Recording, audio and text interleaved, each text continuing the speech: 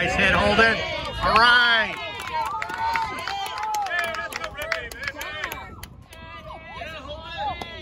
Good job, buddy.